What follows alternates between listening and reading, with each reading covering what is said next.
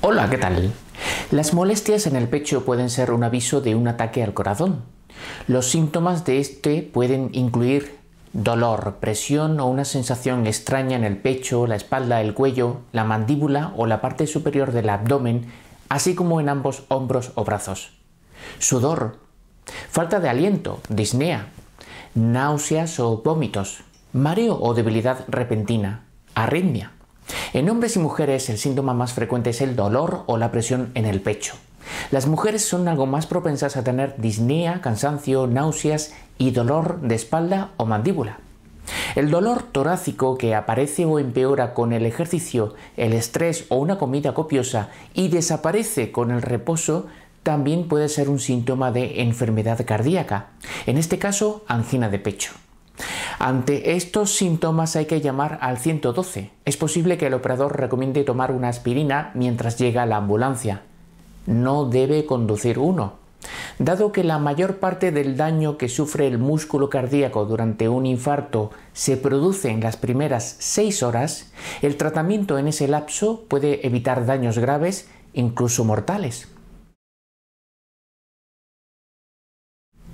La mayoría de la gente teme que el dolor torácico signifique que algo va mal en el corazón, pero no siempre es así, sobre todo en personas menores de 40 años. La angina de pecho se debe a que no llega suficiente sangre al músculo cardíaco. Es un síntoma de enfermedad coronaria, también llamada cardiopatía. Se habla de angina estable cuando en principio se puede predecir cuándo aparecerán los síntomas. Sin embargo, un cambio repentino e inesperado en el patrón habitual de angina significa que el flujo sanguíneo ha disminuido y que se podría estar sufriendo un infarto de miocardio. Entonces se habla de angina inestable, pero hay otras molestias. El dolor en los músculos o huesos del pecho que aparecen cuando aumenta la actividad o se hace ejercicio. Se trataría de dolor en la pared torácica. La costocondritis es una inflamación de las articulaciones formadas por el cartílago que une las costillas al esternón. Puede deberse a una lesión en el pecho, pero a menudo se desconoce el motivo de tal inflamación. El dolor ardiente en el pecho que se produce al toser puede deberse a una infección de las vías respiratorias altas causada por un virus. El dolor ardiente en el pecho o las costillas, especialmente justo antes de que aparezca una erupción, puede estar causado por el herpes zoster. Una lesión como una costilla rota o un pulmón magullado puede ser bastante dolorosa, sobre todo al toser o intentar respirar profundamente. Puede producirse hinchazón, inflamación de las finas capas de tejido pleural que recubren los pulmones y la pared torácica. Esto se llama pleuresía. La enfermedad por reflujo gastroesofágico puede causar dolor justo debajo del esternón. Muchas personas dirán que tienen ardor de estómago. Esta molestia suele aliviarse tomando un antiácido o comiendo.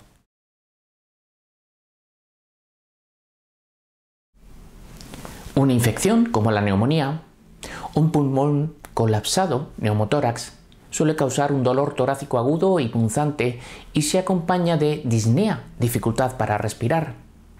Un coágulo de sangre en el pulmón, embolia pulmonar, suele causar dolor torácico profundo con dificultad respiratoria repentina y extrema.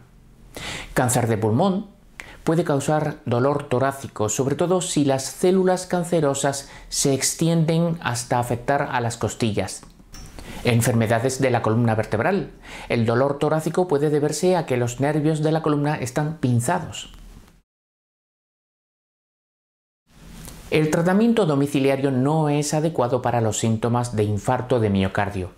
Con una angina estable, en la que uno suele predecir cuándo aparecerán los síntomas, conviene ceñirse a los cuidados indicados por el médico, salvo que los síntomas se hagan más frecuentes, graves o sean diferentes.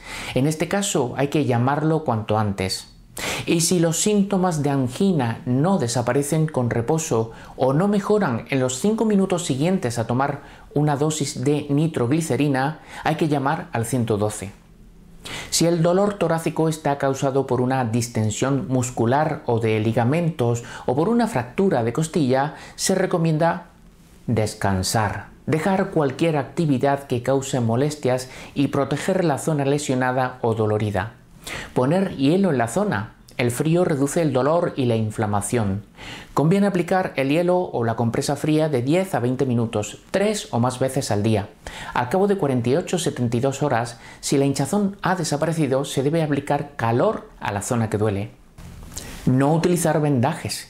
Envolver o pegar las costillas para sujetarlas podría inhibir la respiración, lo que aumentaría el riesgo de neumonía o de un colapso pulmonar parcial, atelectasia. Aplicar medicamentos. Las cremas medicinales que se aplican sobre la piel, tópicas, pueden aliviar los músculos doloridos. Estirar los músculos. Los estiramientos suaves y los masajes pueden ayudar a mejorar más rápidamente. Hay que estirarse lentamente hasta el punto justo antes de que empiecen las molestias. A continuación se mantiene el estiramiento entre 30 y 60 segundos y se repite 3 o 4 veces al día es aún más útil después de utilizar calor. Y por supuesto, retomar las tareas cotidianas solo cuando se esté preparado. A medida que mejore el dolor, se podrán retomar poco a poco las actividades habituales. Cualquier aumento del dolor puede significar que se necesita más descanso.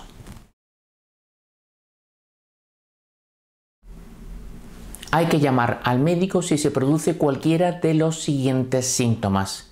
Aumento de la dificultad para respirar si se tiene más disnea. El malestar torácico dura más de una semana. O los síntomas son más frecuentes o graves. Y hasta aquí por hoy. Espero que no sea nada grave y que vaya muy bien. Muchas gracias.